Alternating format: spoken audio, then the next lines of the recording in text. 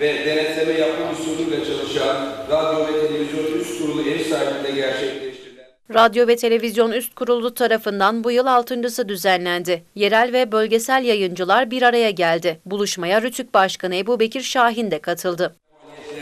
ve etkinlikler göstermektedir ki pek çok siyasetçi, Rize'de hafta sonu 6. yerel medya buluşmasına Rize Valisi İhsan Selim Baydaş ve 19 ilden yayın kuruluşlarının yöneticileri katıldı. Buluşma Rize İsmail Kahraman Kültür Merkezi'nde gerçekleştirildi. Radyo ve Televizyon Üst Kurulu Başkanı Ebu Bekir Şahin toplantının amacının yerel ve bölgesel yayıncıların sıkıntılarını gidermek olduğunu söyledi. E, Bu toplantıları yapma sebebimiz e, yerel ve bölgesel e, yayıncılarımızın biz ayağına gidiyoruz. Oradaki e, değerlendirmeleri, oradaki onların e, sıkıntılarını, sorunlarını yerinde gider, gidermek için onları dinliyoruz. Genelde onların e, değerlendirmelerini alıyoruz. Bu da e, kendileri için çok yararlı olduğunu kendileri söylüyor yayıncılarımız. Rütük Başkanı Şahin, Türk medyasının İsrail zulmüne karşı Filistin'in yanında olduğunu ve bundan gurur duyduğunu ifade etti. Her gün çocukların ölen e, bedenleri, e, kimse, e, güçsüzlerin ölen bedenleri, insanın ölen bedenleriyle karşılaşmak ve bunların devam ettiğini görmek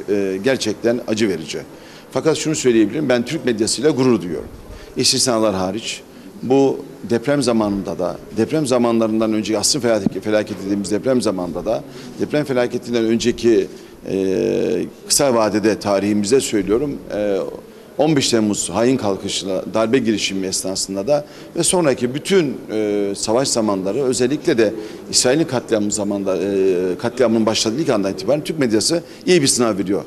E, çok ufak istisnalar ve çok ufak belki bir iki e, ne diyelim e, asli vazifesini kendice yerine getire, getir, getirmesi gereken medya hariç Türk medyasıyla ben gurur duyuyorum. Toplantı yerel ve bölgesel yayıncıların Rütü'ye soru sorması ve bu soruların cevaplanmasıyla son buldu.